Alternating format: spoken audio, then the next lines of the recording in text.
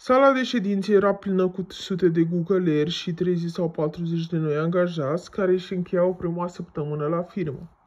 Eu făceam parte din această a doua categorie, însă niciunul dintre noi nu se aștepta la ce a urmat. Aceste schițe s-au scurs în afara companiei. Am găsit persoana care a făcut acest lucru și a fost concediată. Credem că lucrăm mai bine decât toată lumea dacă toată lumea știe ce fac ceilalți, a explicat Eric. De aceea împărtășim atât de multe informații între noi înainte ca ele să devină publice. Și acesta era motivul pentru care ne-a arătat tuturor schițele în ziua respectivă. A declarat că avea încredere că toți vom păstra confidențialitatea informațiilor.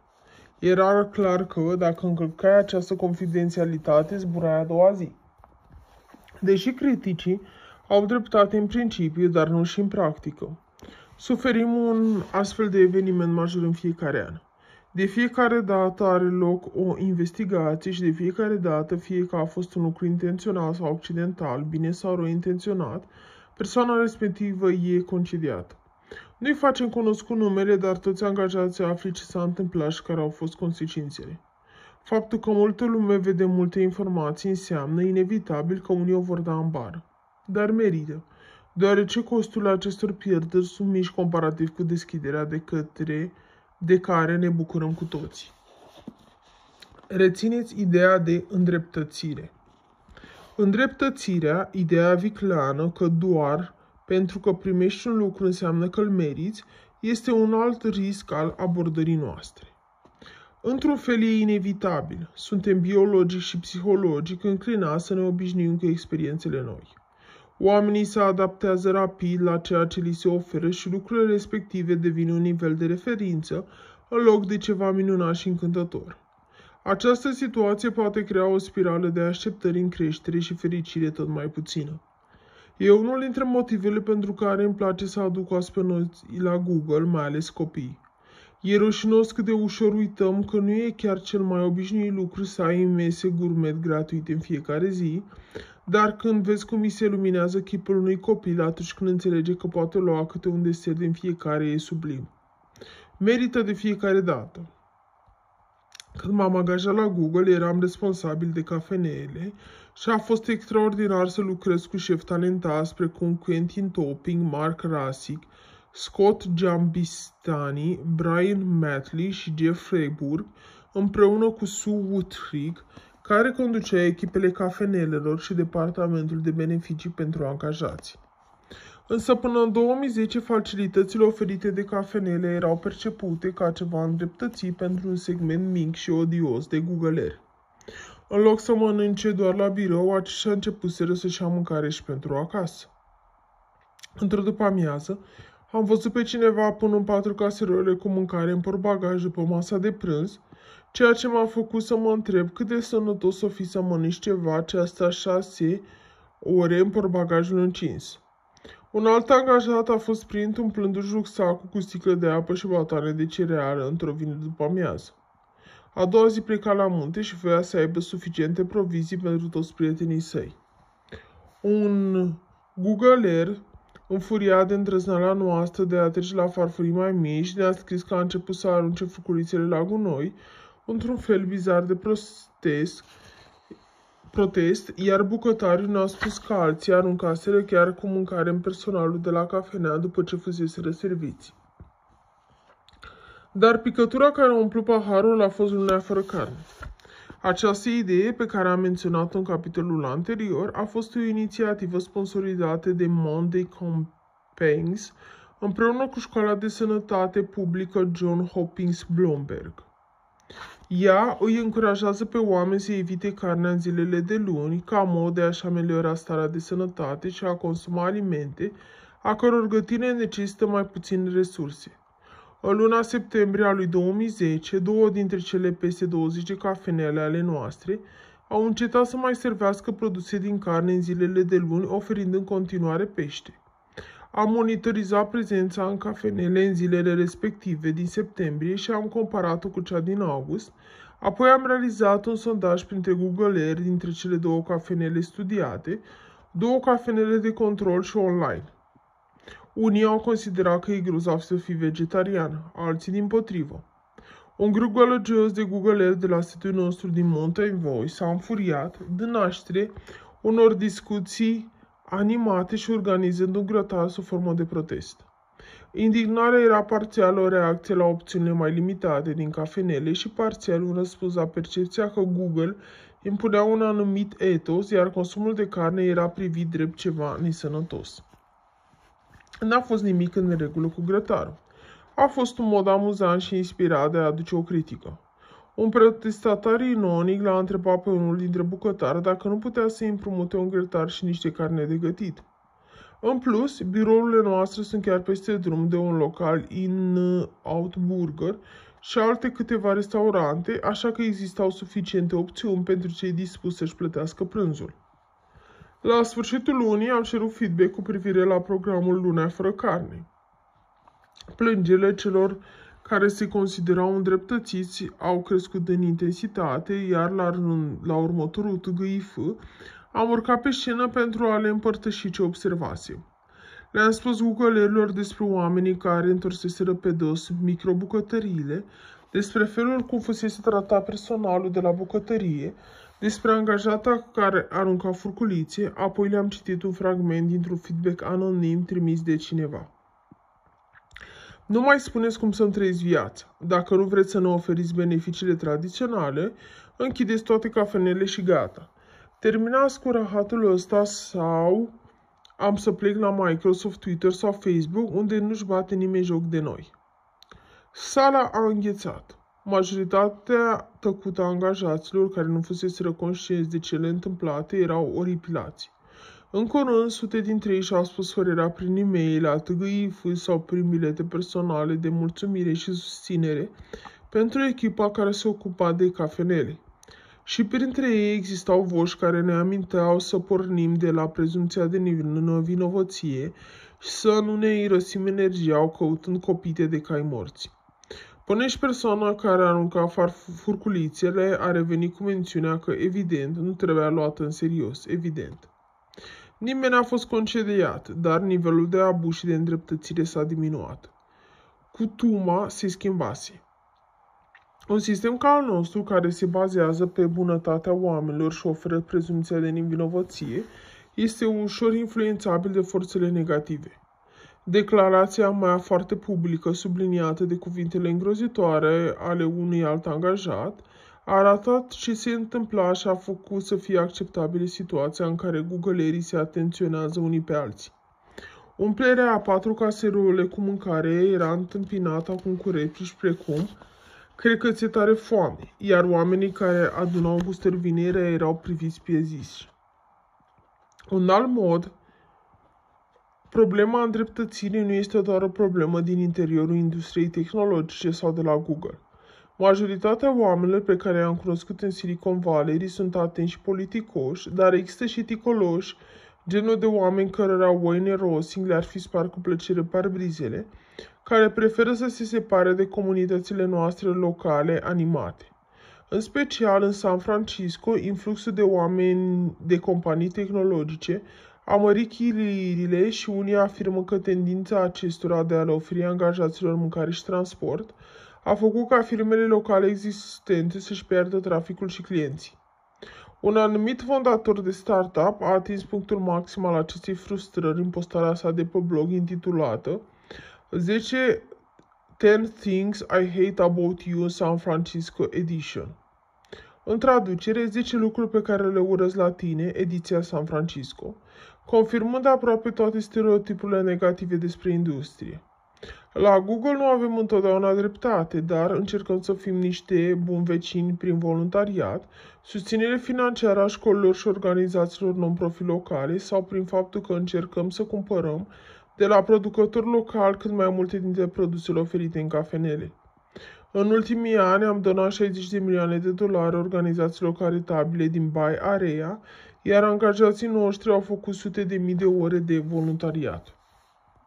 În plus, ne concentrăm și pe zonele din afara lumii reflectoarelor. De exemplu, începând din 2013 ne-am asociat cu inspectoratul școlar din regiunea Berkeley, Carolina de Sud, din apropierea uneia dintre centrele noastre de date pentru a recruta și a furniza asistenți preparatori de matematică și informatică, care voi ajuta pe cei 1200 de elevi din zonă să devină interesați de aceste domenii.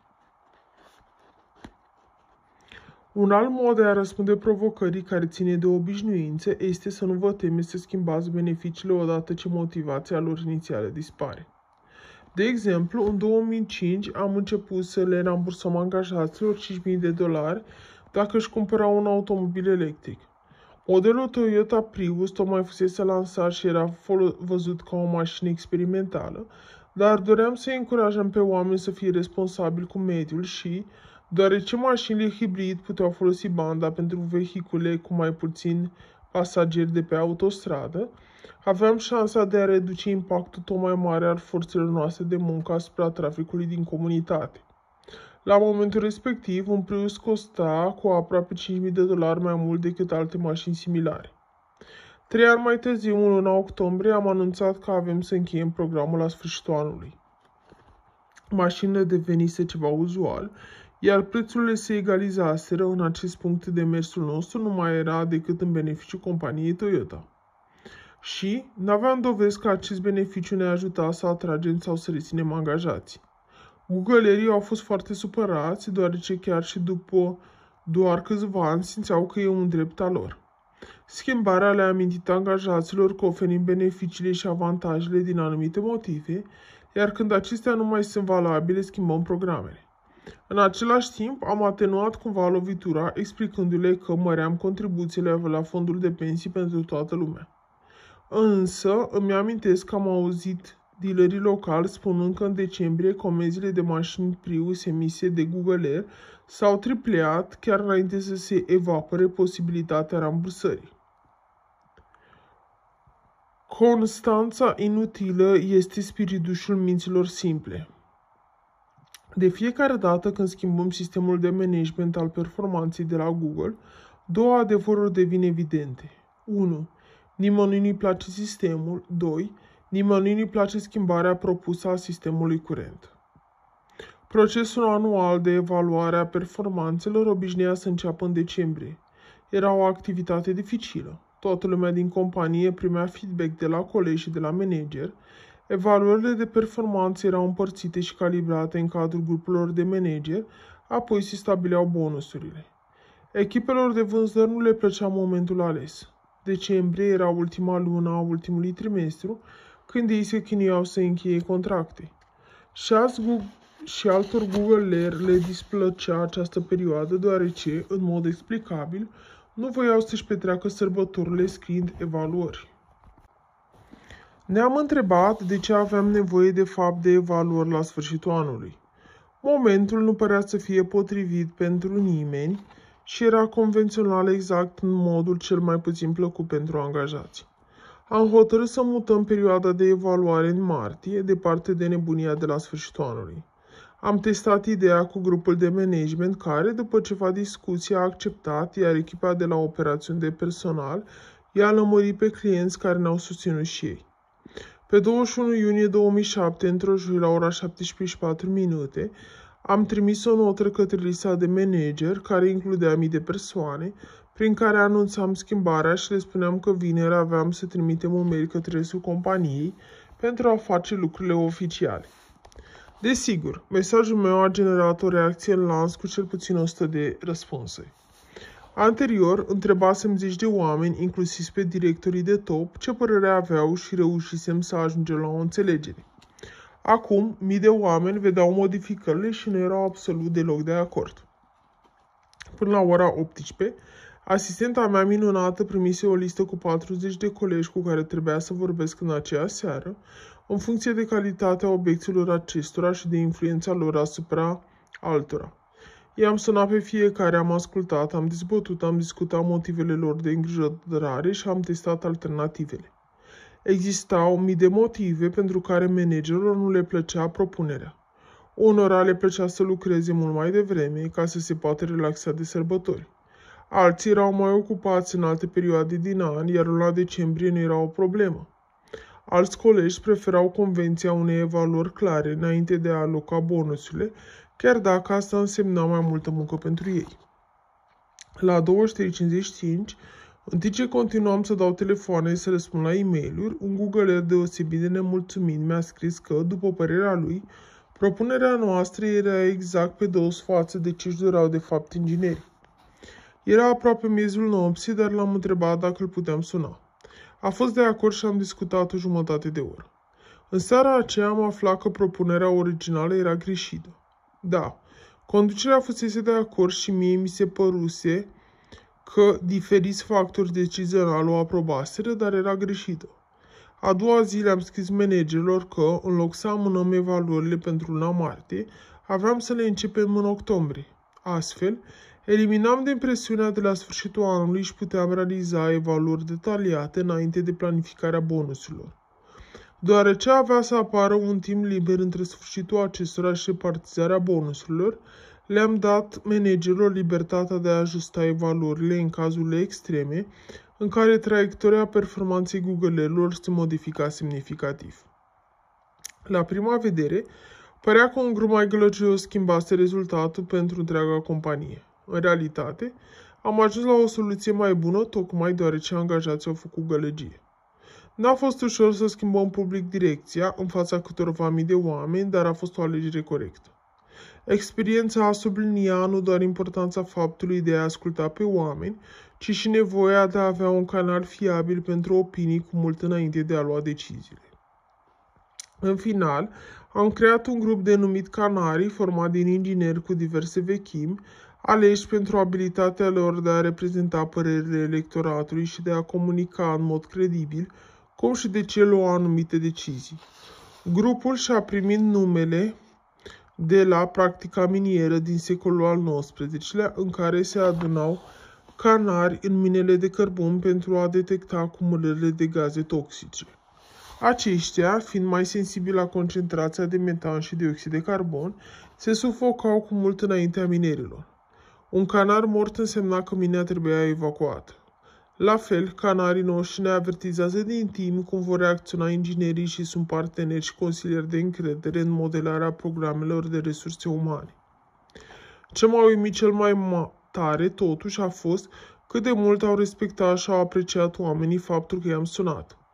Jonathan Rosenberg mi-a spus odată, o criză este o oportunitate de a avea impact. Lasă totul și ocupă-te de criză.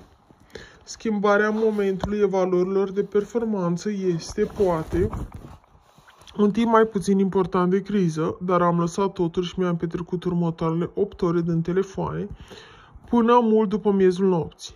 Am ajuns la o soluție mai bună, modelată de oamenii care erau cei mai afectați de ea, iar eu am câștigat o rețea mai largă de oameni la care puteam apela pentru sfaturi și ajutor. Prețuiți ciudățenile. Dintotdeauna am avut câțiva ingineri care vin la fiecare tăgăifu, stau pe primul rând și pun întrebări lungi și întortocheate. Se întâmplă în fiecare săptămână. Angajații mai noi își dau ochii peste cap uneori când aceiași oameni se ridică în fiecare vine și își recită întrebare. Ce e vechi și mai bine despre ce e vorba?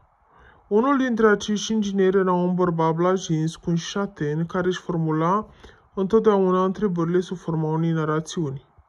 Larry, începea el, am auzit recent o poveste interesantă cum că, digresiune de 5 minute, așa că mă întrebam dacă Google va, întrebare de 5 minute. Întrebările erau uneori ciudate, alteori profetice, a întrebat despre autentificarea bifactorială cu mulți ani înainte să o oferim. Apoi, într-o zi, după vreo 10 ani, a ieșit la pensie, iar în următoarea săptămână altcineva stătea pe locul său din primul rând la TGIF. Se pare că fusese unul dintre primii angajați de la Google.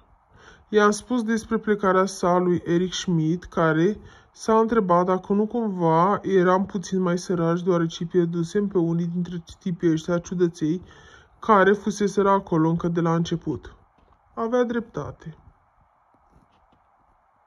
Folosiți mai mult lemn pentru mai puține săgeți. Vă mai amintiți de Google Liveli? Produsul în care vă puteați crea un avatar animat online și puteați interacționa cu alte persoane în clădiri și sări simulate.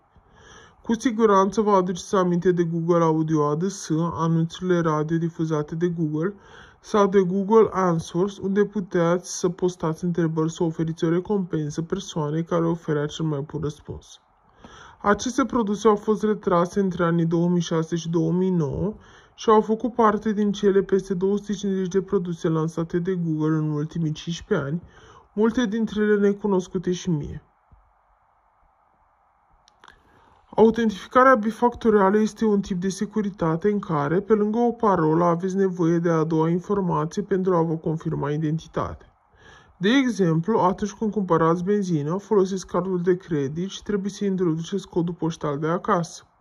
La fel, dacă activitați autentificarea bifactorială pentru Gmail, veți avea nevoie de parolă și de un cod numeric generat de telefon sau de un alt dispozitiv pentru a vă conecta. Un efect advers al libertății nelimitate este afluxul imens de idei. Pe lângă sutele de produse, avem o bază de proiecte în care Google înregistra o milie de proiecte începute în acea cincime din timp destinat altor activități. În plus, aveam un forum de idei unde au fost postate de-a lungul timpului peste 20.000 de concepte. În ciuda masei clocotinde de activități, simțeam că nu avem destui oameni pentru a face lucrurile suficient de bine. Aveam atâtea proiecte interesante în curs că aproape niciunul nu primea suficiente investiții pentru a putea deveni cu adevărat extraordinar. În iulie 2011, Bill Gohran, vicepreședinte de cercetare și infrastructura sistemelor de atunci, a postat pe blog un articol intitulat More Wood Behind Favor a Rose. El a explicat că aveam să închidem Google Labs, un site unde le permiteam utilizatorilor să se înscrie pentru a testa din timp câteva dintre produsele noastre. Dar în culise se petreceau lucruri. Larry adunase primii 200 de lideri din firmă și le explicase că încercam să facem prea multe lucruri în același timp și de aceea nu făceam nimic suficient de bine. De aceea a dat startul unei curățenii de primăvară anuale, în cadrul căreia retrăgea produsele care nu prindeau la public, precum Google Health, un site menit să stocheze informații despre sănătate, care erau făcute mai bine de alții, cum ar fi Gnoll, o încercare de enciclopedie online, sau care pur și simplu nu mai erau relevante. Google Desktop, un produs pe care îl puteți descărca pentru a căuta mai bine prin fișierele din computer, acesta a devenit mai puțin relevant pe măsură ce majoritatea sistemelor de operare au început să încorporeze propriile tehnologii de căutare pe desktop. Niciuna dintre aceste retrageri nu a fost simplă, deoarece fiecare produs avea fan, promotor și oameni care lucrau la el. Unii s-au întrebat dacă această nouă perspectivă, de sus în jos, de a decide care produse trăiau și care mureau, însemna că valorile noastre se schimbaseră. De fapt, redescoperisem un principiu pe care îl știam încă din primele zile. Inovația se hrănește cu creativitate și experimentare, dar are nevoie și de o ghidare atentă. Cu zeci de mii de angajați și miliarde de utilizatori, oportunitățile de a crea sunt infinite, iar noi atragem oameni care vor să facă exact asta. Dar libertatea nu este absolută, iar atunci când faceți parte dintr-o echipă, dintr-o organizație, înseamnă că, într-un fel, ați fost de acord să renunțați la o mică parte din libertatea personală, în schimbul promisiunii de a realiza mai multe împreună decât ați putea singuri. Nimeni nu ar fi putut crea singur motorul de căutare Google. Chiar și la început erau Sergei și Larry. Am avut niște certuri complete cu privire la modul de operare al acestuia și, de-a lungul timpului, am locuit modelul de funcționare de mai multe ori, aruncându-l practic pe cel vechi, la care niște oameni extraordinar dedicați și creativi lucraseră mii de ore, pentru a înlocui cu unul mai performant. Secretul pentru a echilibra libertatea individuală cu un cadru reglementat este să fiți transparenți. Oamenii trebuie să înțeleagă raționamentul din spatele fiecarei acțiuni care ar putea fi văzută ca îndepărtându-se de valorile companiei. Iar cu cât aceste valori sunt mai importante pentru operațiunile desfășurate, cu atât va trebui să explicați mai mult. La fel de important este și să explicați contextul larg. În octombrie 2013, un googler m-a întrebat dacă retragerile anuale de produse erau un semn că ne păsau mai puțin de ideile individuale. I-am spus că strategia de a lăsa o mie de flori să înflorească și de a susține orice idee mersese prea departe și nu reușeam să progresăm cât ar fi meritat utilizatorii. Portofoliul nostru de produse, la fel ca orice grădină, avea nevoie de pliviri regulate și atente și în acest mod contribuiam cu adevărat la bunăstarea companiei. Cel mai politic desert sau nu, sau nu poți mulțumi tot timpul pe toată lumea. La Google aveam liste de e-mail de la care oricine se putea înscrie, iar o conversație pe un anumit subiect se numește fir. Uneori un subiect deosebit de delicat va da naștere unui centifir. Primul nostru milifir sau kilofir mai dezbatem încă această asupra prefixului corect, a avut peste 1000 de răspunsuri și a fost declanșat de o plăcintă. Într-o zi în 2008, una dintre cafenelele noastre a inclus acest desert meniu de prânz. Plăcintă gratis cu fructe goji din Tibet și cremă de ciocolată cu o crustă din curmale, nucă de cocos, nuci de macadamia și ciocolată, cremă de macadamia, pudră de cacao, păstăi de vanilie, agave, fulgi de cocos, goji, unt de cocos, sirop de agave albastru infuzat cu căpșuni, curmale de medjoli, sare de mare.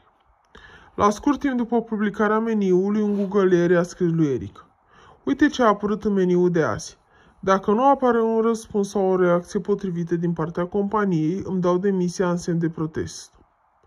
Angajatul respectiv și-a trimis mesajul în mai multe liste de corespondență mai mici, apoi un inginer l-a redirecționat spre lista mare a companiei pentru subiecte diverse. Subiectul a stabilit recordul pentru cel mai rapid mesaj care a primit peste 100 de răspunsuri și a fost primul care a depășit 1000 de reacții. Un coleg a numărat peste 1300 de e mail pe această temă. Iar acum contextul. Fructul goji, originar din sud-estul Europei și China, crește acum în Canada, în Statele Unite și în alte locuri. Tufele au între 1 și 3 metri și fac niște flori violete. Fructul roșu portocaliu este mic de 1-2 cm lungime, bogat în antioxidanți și cu un gust dulce acrișor. Nu pot spune că sunt cine și ce fan, dar nu sunt rele, amestecate în diverse preparate. În acea zi de aprilie, un bucătar hotărâse să facă o plăcintă cu fructe goji din Tibet. Toată mâncarea de la Google este gratuită, deci plăcinta respectivă era și ea gratis, cu fructe goji din Tibet. Însă, pentru mulți googler, asta nu însemna același lucru cu o plăcintă gratis cu fructe goji din Tibet și cremă de ciocolată. Google desfășoară operațiuni în toată lumea și are mai multe filiale în China continentală. Pentru angajații de acolo, Tibetul a făcut, face și ar trebui să facă parte permanent din China. Pentru mulți alții, Tibetul a fost și ar trebui să fie o națiune independentă. În afară de Google, n-aș greși prea mult dacă aș spune că probabil un miliard de oameni au o părere și un miliard au pe cealaltă. Câțiva angajați, precum cel care i-a scris lui Eric și câteva mii de prieteni de-ai lui, au fost profund jigniți de sugestia de numere prăjiturii, cum că Tibetul ar trebui să fie liber. Mai mult, unii au sugerat că și occidentalii ar fi la fel de ofensați dacă vreun bucătar din Londra ar oferi plăcintă, eliberați salagalilor sau fursecuri, eliberați Irlanda de Nord. Alții au mers până la pro până la a propune sirop de arțar, eliberați Quebecul, friptură, poligamia texană sau clătitele războiul agresiunii nordice.